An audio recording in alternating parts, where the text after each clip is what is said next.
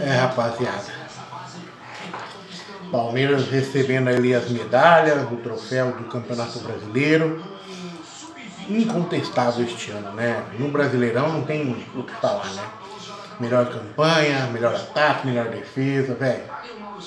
Melhor, acho que. Não sei se estava melhor visitante, que ia disputar com o Inter ainda. Né? Mas timaço esse Palmeiras, hein? Abel Ferreira, né? É o nome do time, né? É o nome do Palmeiras é Abel Ferreira, não tenho dúvida disso. Quando esse cara chegou, né? Muita gente, ninguém acreditava. Eu vou falar a verdade para vocês, eu tive fé desde o começo, tive muita fé que o Abel Ferreira ia chegar e ia revolucionar esse Palmeiras. O discurso dele ali no começo, cara, eu, sabe, eu senti firmeza, senti honestidade, sinceridade. E hoje o Palmeiras aí ganha mais um brasileiro, depois de ganhar duas Libertadores, Copa do Brasil, Recopa, Paulistão, velho. Que fase do Palmeiras, né? E fora os títulos que tem na base, no feminino, Libertadores feminino, cara, que louco, velho. Eu nunca vi isso. Por isso que eu falo que o Palmeiras é o. Este Palmeiras aí, o maior Palmeiras de todos os tempos, o que eu já vi. E olha que eu vi aquele time da Parmalat jogar contra o São Paulo, que era um time massa na época também. Vi aquele time, vi Roberto Carlos, vi o Edmundo. Véio, mas não era. Ah, era melhor tecnicamente. Não era mais vencedor que esse. Não foi mais vencedor que esse. Porque eles não ganharam nem Libertadores, não ganharam dois brasileiros, que me lembro. E aí o time da Parmalat, outro time, né, que ganhou em 99, já não era mais aquele time do início de Parmalat com César Sampaio, Edmundo, Evair, Roberto Carlos, Zinho. Era um time, senhor Antônio Carlos, Kleber na zaga, velho, era um time de louco, velho, de respeito, que era aquilo. Mas esse time do Palmeiras é muito mais vencedor. É, e hoje tá aí sendo premiado, né, depois de ganhar o Brasileirão, mais uma vitória em cima do América Mineiro. Jogo difícil pra caramba, cara, eu não esperava um jogo difícil assim o Palmeiras entrou em clima de festa, né, no jogo, e o América precisando vencer para chegar na Libertadores. Então você imagina o que aconteceu. Para quem não assistiu o jogo, rapaz, os caras entraram turbinados, velho. E o Palmeiras acho que também, por sorte, estava turbinado também. Só que tomou o gol primeiro, né? No primeiro, primeiro gol, o América que fez, velho. Falei, caralho, velho. Num golaço de falta do Benítez. Né? Aí tem o negócio, né?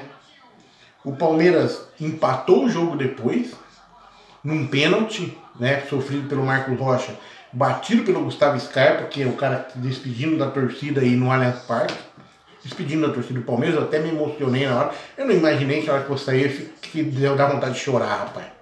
Que nem eu tô agora de novo. Não imaginava isso, né? Para você ver é, a alegria que esse time tem dado pro palmeirense. E os palmeirenses mais velhos eu tenho certeza que devem estar tá que nem eu, cara. Porque não tem jeito, velho. Mano, a gente sofreu, hein? Cara, eu sofri na minha infância, na minha adolescência e no meu período de faculdade, cara, porque meu time não era campeão, cara. Ficamos 16, 17 anos sem ser campeão. E pegou bem essa fase minha, infância, que eu tava já lúcido, né, com 7, 8 anos, que eu comecei a acompanhar bastante o Palmeiras. E aí minha adolescência toda e até terminar minha faculdade. O Palmeiras foi campeão no ano que eu. Um, um ano que eu me formei. Né? Eu fiz a minha formatura em 93. Eu me formei, eu terminei a faculdade em 92 e me formei em 93, em janeiro, e o Palmeiras foi campeão naquele ano. Você imagina, velho, a faculdade toda.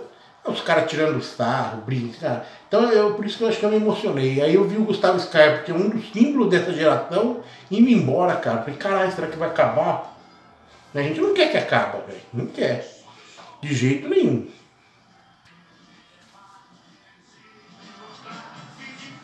Cara, esse hino, hein, velho?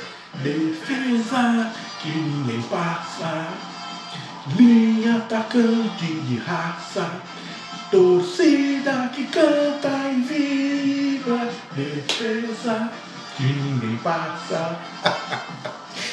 Aí, que alegria, rapaziada. Sofremos, né?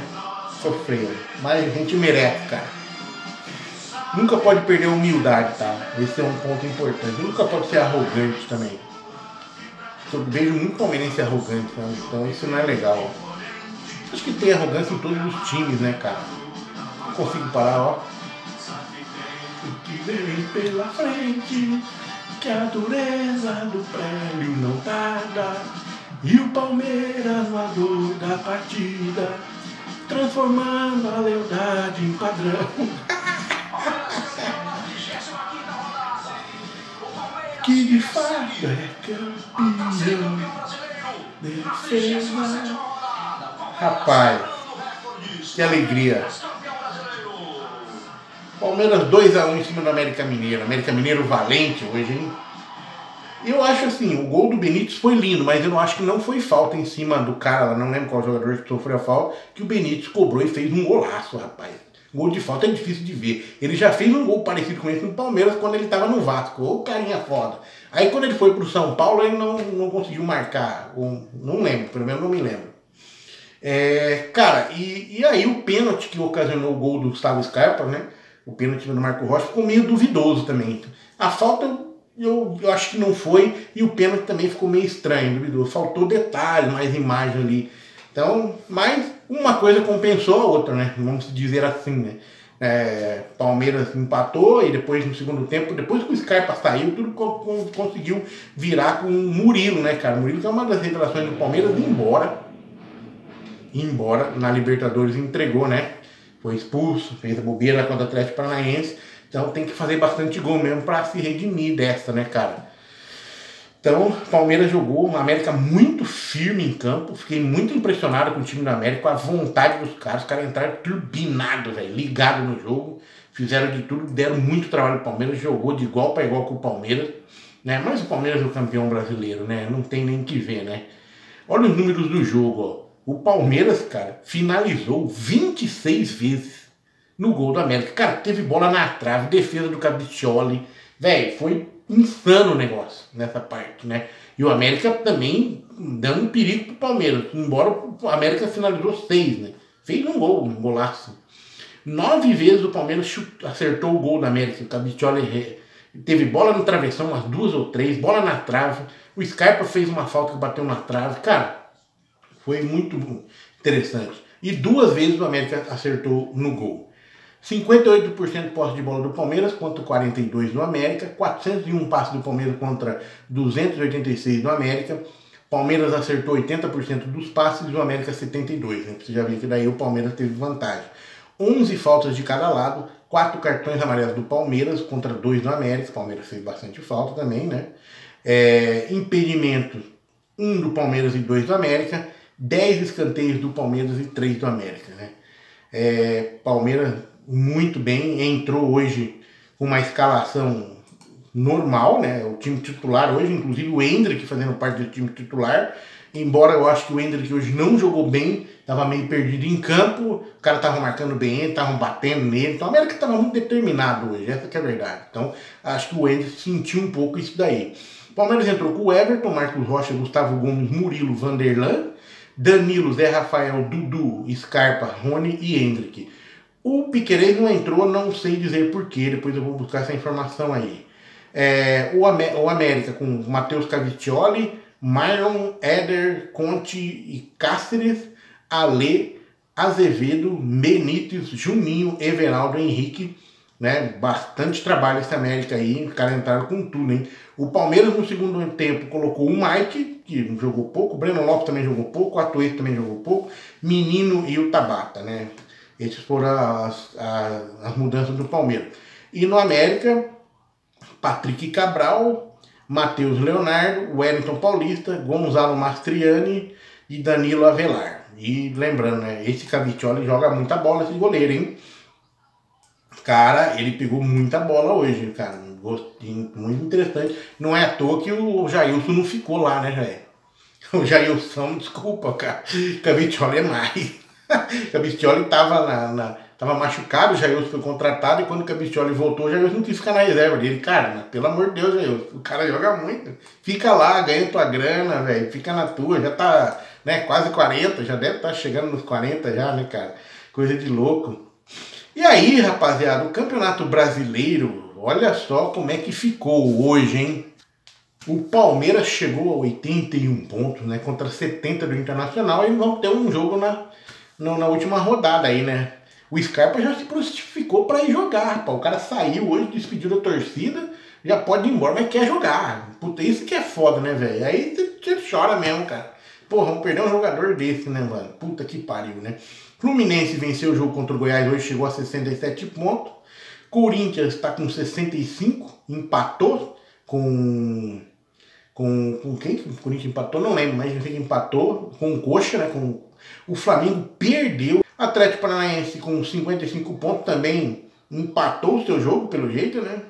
Ou o Flamengo empatou, não sei. Isso Atlético Paranaense não foi bem, América Mineiro perdeu do Palmeiras com 52, Fortaleza venceu, né? Deu uma goleada no Red Bull Bragantino, hein? Red Bull Bragantino, que decepção, hein? Essa temporada vai ter que ficar lá na Sul-Americana mesmo, cara. E aí praticamente já rebaixados quatro, né? Juventude, Havaí, Ceará e Atlético Goianiense, né? Que pena o Ceará tá rebaixado, né? O Cuiabá tem 38 pontos, o Atlético Goianiense pode chegar a 38, mas o saldo de gols e negócio de vitórias, o Cuiabá já praticamente vai ficar é, na primeira divisão, né? Mas ainda tem um jogo para disputar, né? Então não pode falar muito assim, né? Então é isso, galera. Jogo muito bom hoje do Palmeiras. Emocionante pela saída do Scarpa, que caiu a ficha ali, a hora que ele saiu, cara. Sinceramente, eu chorei um pouco. Nem eu esperava isso, né? De, de novo, né? Porque essa alegria que esse time nos deu, né, cara? Aí você falei, pô, o cara tá saindo Será, cara, que vai começar a acabar este Palmeiras, essa fase tão linda e maravilhosa que a gente está vendo, cara? A gente quer que dure mais, né? Enquanto a Bel Ferreira estiver aí ainda, que dure bastante, né? Vamos ter fé. É isso, galera. No mais, tudo tranquilo. O vídeo já tá longo demais. Meu vídeo do Palmeiras, pouca gente vê. Imagina um vídeo longo desse aqui. Se der, muita, der 200, 500 visualizações aí, eu vou comemorar. Beleza? Se você não é palmeirense, compartilhe com os palmeirenses. Se você é palmeirense, cara, no meu canal eu falo de futebol.